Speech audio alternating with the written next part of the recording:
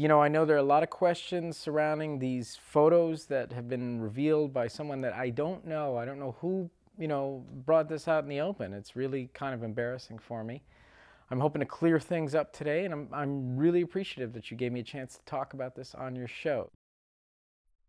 First of all, let me just say this was consensual.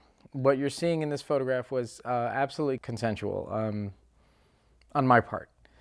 Uh, I don't actually know about the other two people involved, but no lawsuits were filed, and it was all in good fun. Do you ever paint any animals on your hand? It was it was um, a long time ago. I was actually invited to a party, and I did not have a date, and it was a little embarrassing. So I um, I took my hand. Would your hand like to say anything on your behalf? Well, I do allow my hand to talk for me occasionally. Um, this is me and Lammy. Uh, Lammy and I met actually at a puppet theater several years ago. Lammy now represents me at certain conventions in um, Central and South America. Uh, some countries actually eat lamb, so it's a little dangerous, um, and then we resort to uh, Mr. Horsey.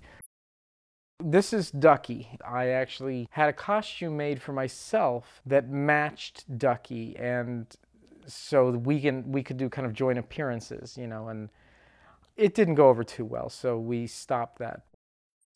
I cannot explain this hair. Uh, I was in college and I was a theater major, and that seems to be a valid explanation for a lot of things nowadays. So uh, we'll we'll just let it stand for that.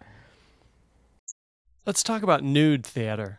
Uh, okay. Do you think this helped you? It's opened some doors, but this is actually this photograph is not a nude show. Um, these gentlemen were all professional performers, and the broom was not coerced. Uh, it was a it was consensual, and we were theater majors. Was this before or after your first time in rehab? Uh, well, now this photograph was actually after my first time in rehab. Yeah, yeah. Uh, but they did give me the little doggy.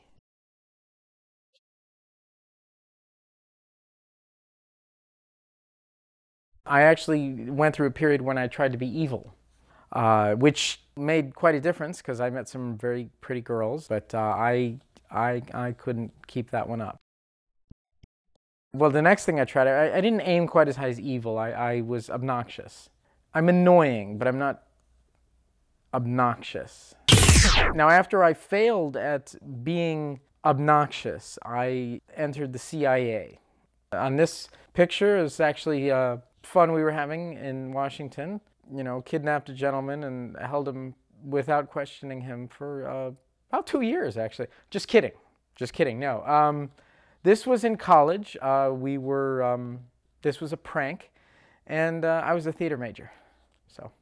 Who are you and what have you done that anyone should care about this?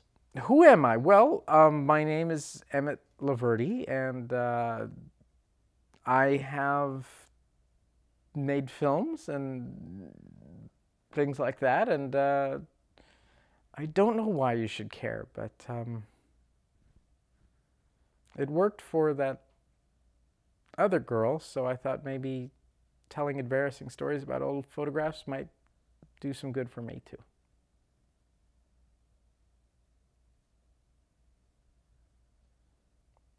Turn off the camera.